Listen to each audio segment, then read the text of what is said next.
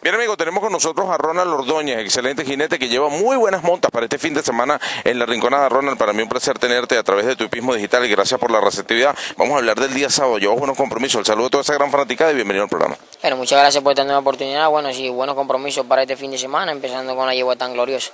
Es una yegua que anda muy bien cancha y va a estar diciendo esta prueba. Posteriormente otro de los, tu compromiso es Giralda en la quinta. Bueno, un lote parejo, esperan mejoría de ella y bueno, esperemos una buena carrera de esta carrera. Háblame de la finlandesa que va en la octava número 7.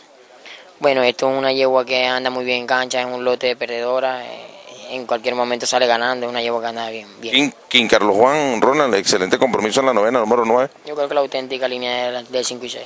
Y tu último compromiso del día sábado, doctora Pichi, en la undécima número 4. Yo creo que es una yegua que estaba de turno en el lote y yo creo que va a estar decidiendo con toda seguridad esta prueba.